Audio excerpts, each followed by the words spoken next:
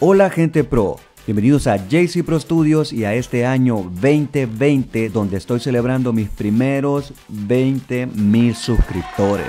¿Qué mejor manera que comenzar el año de esta manera? En esta ocasión te enseñaré a hacer un truco de cine llamado plano secuencia, con cortes entre medio pero dará la impresión de que es una sola toma. Mi nombre es Jonathan Valladares y el ejemplo a continuación.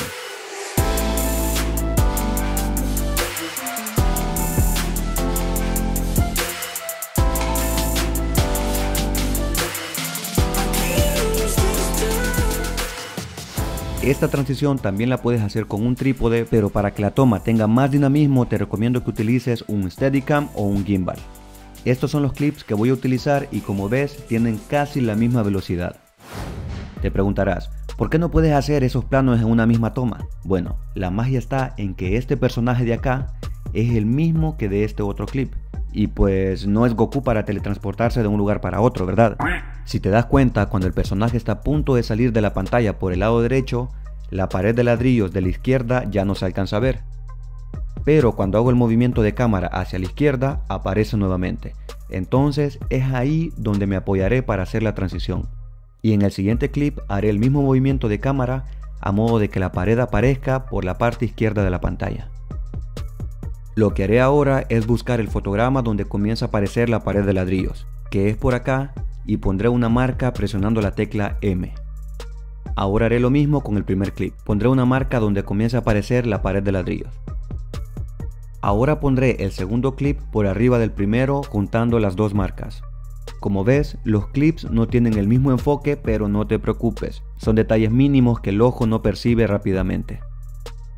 Lo siguiente será buscar el fotograma donde el borde de la pared de ladrillos del clip de arriba cruza totalmente hasta la parte derecha de la pantalla. Sería por aquí pero me adelantaré dos fotogramas más.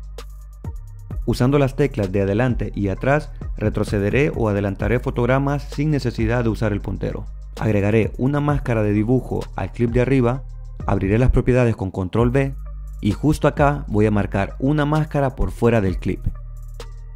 En las propiedades de la máscara pondré el suavizado a menos 100% y pondré un fotograma clave o keyframe en los puntos de control. Ahora con la tecla hacia atrás, retrocede un par de fotogramas y de esta forma iré animando la máscara a modo de ir ajustando las líneas de la pared de arriba con las de abajo.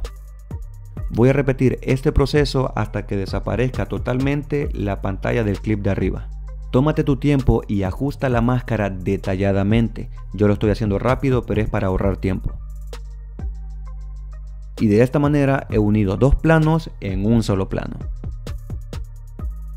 Como todos sabemos, en esta sociedad hay miles de haters y no faltará más de alguno que te diga, sí, pero las líneas de los ladrillos no coinciden. Tranquilo, compadre, si hasta la gente de Hollywood se equivoca, porque nosotros no vamos a tener un pequeño error?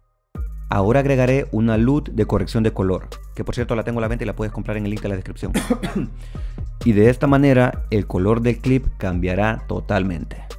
Esto es opcional, agregaré un filtro de color y ajustaré la exposición del clip para darle más contraste. En el color ajustaré los tonos medios para darle un toque más caliente a la imagen. Acá puedes ver lo sexy que nos quedó el color. Comando C para copiar atributos. Selecciona el otro clip y presiona Comando Shift V para copiar atributos y seleccionaré solamente los efectos de color. Y de esta manera este otro clip también se mirará bastante sexy.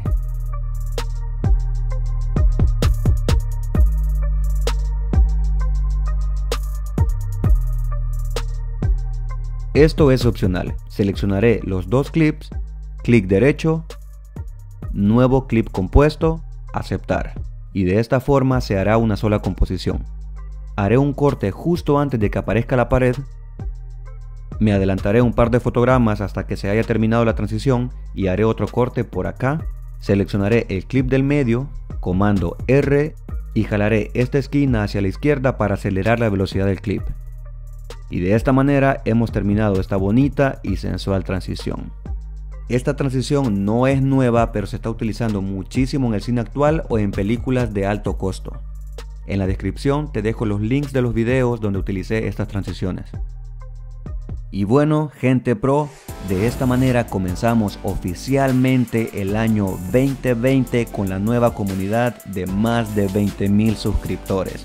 Muchísimas gracias nuevamente, espero que les haya gustado este tutorial y que lo pongan en práctica.